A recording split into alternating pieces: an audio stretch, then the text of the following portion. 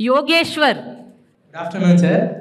The chance to introduce myself in front of you fills me with uh, great happiness and joy.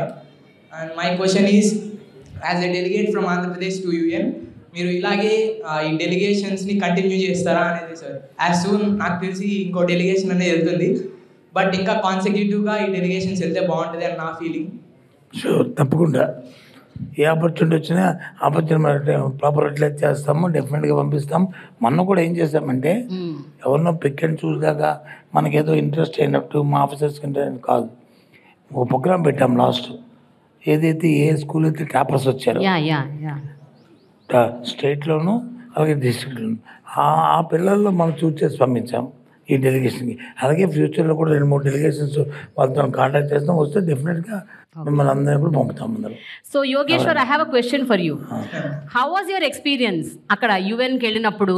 అక్కడ మీరు ఎవరితో interact అయ్యారు? అక్కడ ఏం మాట్లాడారు మీరు? Who thought that government school student can participate in international forums yeah and who thought that government school student can would fly eight for twenty hours it first day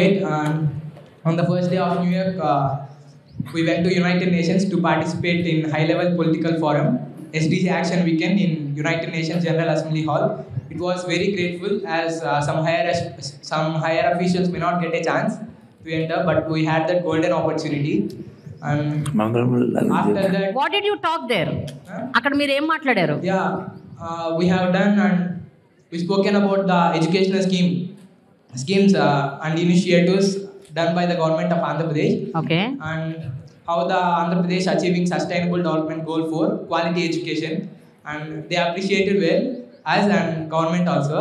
Okay.